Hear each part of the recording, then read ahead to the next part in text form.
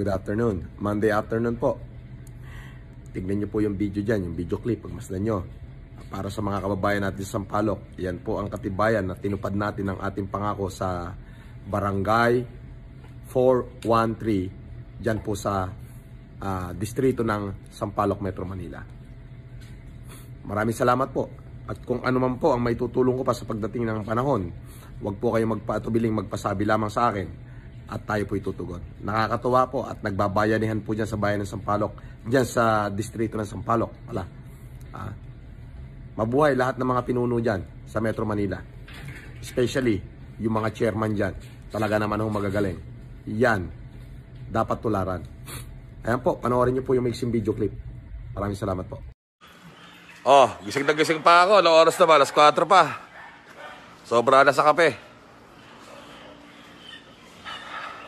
Ito yung binigay na po. Kina yung kinasa ni FLM oh. 2,500 naman ako. Para makita nyo. Live na live.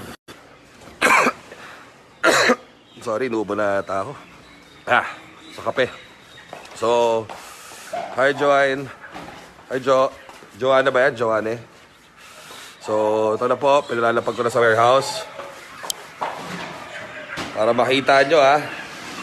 Na buong buo. Alam ba ilaw to? Oh. Ayan na. Ilan naman na isang tray, bossing? Sampu, sampu. Oh. So, pupunuin ito lahat. Oh.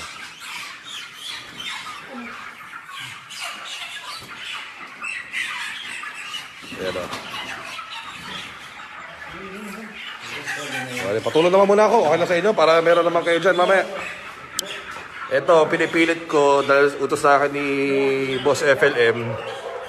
ah gusto na buong 413. Pero sabi na sa akin, bahala ka na.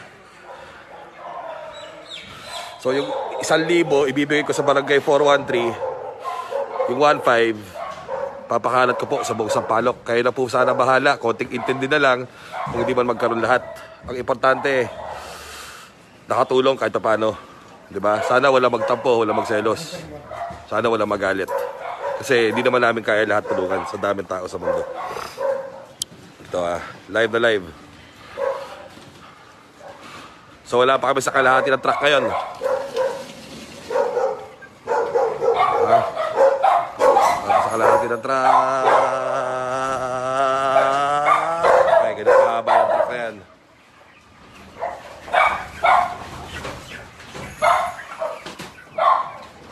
Yan.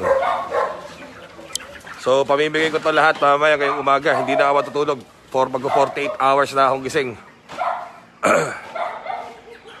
COVID, layuan mo ako ha. COVID ha. Ayan na. Each each chicken kun ano, each chicken po uh, 1.4 kilo. So kayo na po bala kumatay. Importante, sana mag-work yung sinasabi kong Bayanihan Mobile Kitchen for everyone. Diba? Yan. Pati po sa bilangguan magkakaroon sa Station 4. As per Colonel John Gyagi, maraming salamat po. Boss FLM, maraming salamat sa tulong mo para sa Sampaloc. Ito yung mga volunteers natin, si Chris. Oh. Chris, pare maraming salamat ha. Walang bayad yan. Tumutulong yan. Si Sean. Yan ha. Si Maway, si Brian. Yan ha. Ha? Walang bayad yan. Pagmamahal para sa Sampaloc.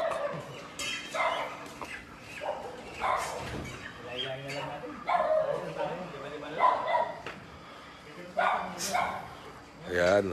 Puta, ang dami. Ay, nagbura ako. Diba Tanod Chairman Yuson. Boss, maraming salamat ha. Ayan ha. Wala pa kami sa kalahati. Emil, paalam ka dyan sa 413. Sabi mo, pupunta ka rito sa warehouse. Sabi mo si Exo kung pwede, sumunod na kayo rito para mag-assist. Tulong tayo. Tuloy-tuloy tayo hanggang umaga.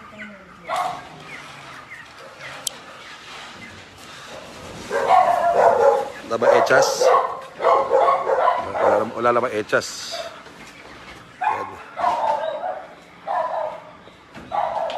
Yan. Sige na to ha. Tatrabuhin ko to. Ngayong umaga, tutuloy-tuloy ko. Hindi ako matutulog.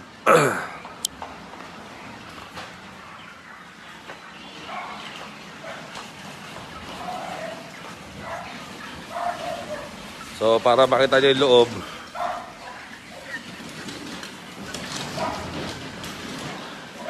Mamaya pala, kailangan ko po yung bumbero ni Press Chairman Lenin Bakuda. Pa-assist po ako sa bumbero uh, for this para ipa-flashing ko lang po yung lugar.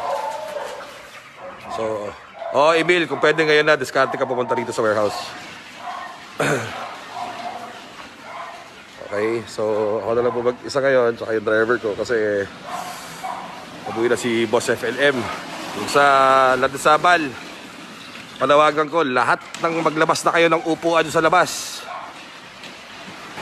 Maglabas na kayo ng upuan sa buong kali ng 413. Lalapag ko doon bawat isang upuan, isang manok.